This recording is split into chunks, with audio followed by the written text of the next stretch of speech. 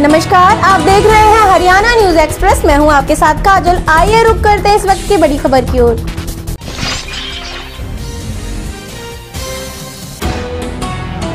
मामला गोवर्धन थाने के अंतर्गत सकरवा गाँव का है, जहाँ मनीष नामक एक युवक चार दिन पूर्व सुबह दौड़ लगाने के लिए अपने घर से पास में बने बाईपास रोड पर गया था।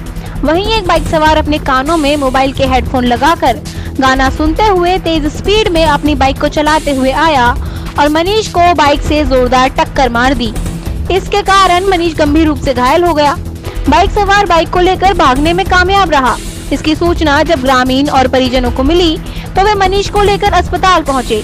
यहाँ मनीष की उपचार के दौरान मृत्यु हो गई। इसके बाद कल ग्रामीणों ने बाइक सवार के खिलाफ थाना गोवर्धन में तहरीर देकर मुकदमा दर्ज कराया मगर पुलिस ने आरोपी को पकड़कर बाद में छोड़ दिया। इस मामले की जब ग्रामीणों को भनक लगी तो वह आक्रोशित हो गए और पुलिस पर आरोपियों से मिलीभगत का आरोप भी लगाने लगे। वहीं कुछ आक्रोशित लोगों ने बाईपास पर जाम लगाने की प्लानिंग बना ली और युवक के शव को ट्रैक्टर ट्रॉली में रखकर बाईपास की ओर चल दिए। वहीं मौके पर पहुँची पुलिस ने लाख प्रयास करने के बावजूद भी परिजन और ग्रामीण नहीं माने। तत्पश्चात मौके पर पहुँचे थाना प्रभारी संजीव कुमार दुबे ने ग्रामीणों और परिजनों को आश्वासन दिया कि दोषी को छोड़ा नहीं जाएगा। उसके खिलाफ कठोर कानूनी कार्रवाई की जाएगी। इस बात से ग्रामीण संतुष्ट हो गए और शव को ट्रैक्टर ट्रॉली से नीचे उतार कर अंतिम संस्कार के लिए ले गए और पुलिस की मौजूदगी में मनीष का अंतिम संस्कार किया गया। मथुरा से हमारे संवाददाता ओमवीर सरस्वत की रिपोर्ट। क्या नाम है भैया आपका? दया चंद है। कहाँ के रहने वाले हो? के। ये क्या हो गया? भाई क्या घटना है? ये हमको बताना। ये एक्सीडेंट हुआ है सुबह तेरह तारीख को। छः कहाँ पर हुआ था? ये हाईवे पे हुआ है सकरवा और बत्सल स्कूल के पास। किस किस से हुआ था? एक लड़का था और मेरा बेटा था। अच्छा आपका बेटा कितनी साल का था? सोलह साल का था। तो सुबह दौड़ करने गया वो है? हाँ बच्चों के साथ में और भी बच्चे थे और दौड़ करने गया था। उसके बाद ये जो लड़के का एक्सीडेंट हुआ उसने कानों में लीड लगा रखी थी और उसकी लाइट भी नहीं थी उसमें। वो कहाँ का रहने वाला था? वो दांदू के नगला का था भैज का। क्या नाम है आपका भैया? विक्रम। कौन से गाँव के नरमपुर क्या घटना हुई है?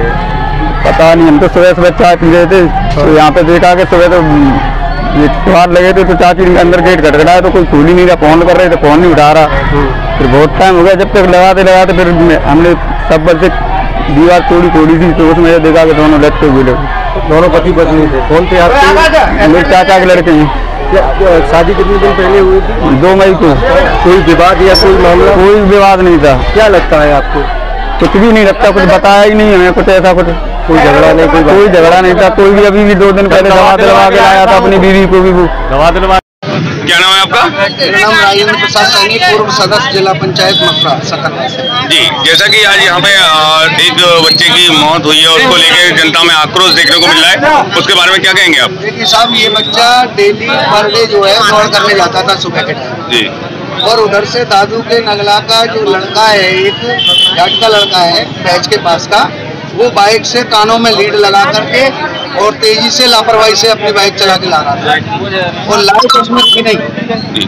उसने एक्सीडेंट करके इस बच्चे को हेड इंजरी हुई है। इस बच्चे जो मरने वाला बच्चा है उसका नाम मनीष है। इसके पिताजी का नाम दयाचंद सैनी है। काम सकरवा से है। और ये बेचारे खेतिहर भूमिहीन मजदूर आदमी हमारे फेसबुक पेज को लाइक फॉलो और शेयर करें। साथ ही यूट्यूब चैनल को लाइक करें सब्सक्राइब करें और ताज़ा खबरों के लिए बेल आइकॉन को दबाना न भूलें।